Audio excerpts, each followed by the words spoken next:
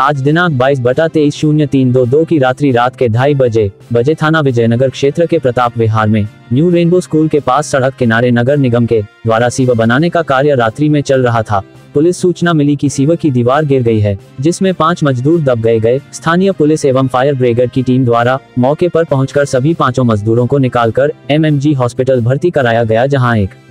मुनकेश machine दो एहजाज पुत्र शमशाद तीन तौकिर सभी निवासीगण बिहार को मृत घोषित कर दिया गया व एक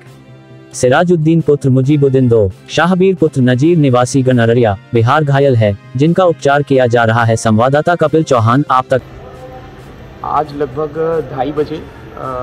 हमारे विजयनगर थाने पर सूचना मिलती है कि डीएवी पब्लिक स्कूल चौकी प्रताप विहार के पास एक दुर्घटना हो गई है, जिसमें कि एक नगर निगम का नाला, नाले की खुदाई हो रही थी और उसके बगल में जो स्कूल की बाउंड्री थी, वह नाले की खुदाई के कारण उसमें गिर गई है, जिसकी वजह से वहाँ पे लगभग 11 लोग काम कर रहे थे, उसमें से पाँच मजदूर इसके अंदर दब दब गए हैं। सूचना पाते ही मौके पे तत्काल विजयनगर पुलिस आती है और यहाँ पे हमने रेस्क्यू ऑपरेशन स्टार्ट कर दिया था। और यहाँ पे हमारे फायर टेंडर और एंबुलेंस की भी गाड़ियाँ आ गई थी, जिसमें से पाँच मजदूर हमको जो दबे मिले थे, उसमें से तीन मजदूर मृत अवस्था में हमको मिले हैं और दो मजदूर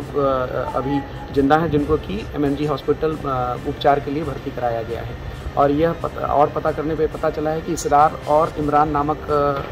ठेकेदारों द्वारा यह ठेका लिया गया था, जिनके द्वारा यह कार्य कराया जा रहा था। मौके पर विजयनगर पुलिस मौजूद है। आगे की कार्रवाई की जा रही है।